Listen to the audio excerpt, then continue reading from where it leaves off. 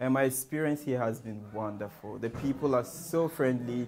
Honestly, uh, contrary to what I thought before coming to the United States, actually, um, I didn't know that the people were so warm and so welcoming. It's like they're used to, you know, to us. You know, it's so easy for them to relate to us. They're smiling at you. They say hello even before you say hello, and it's wonderful.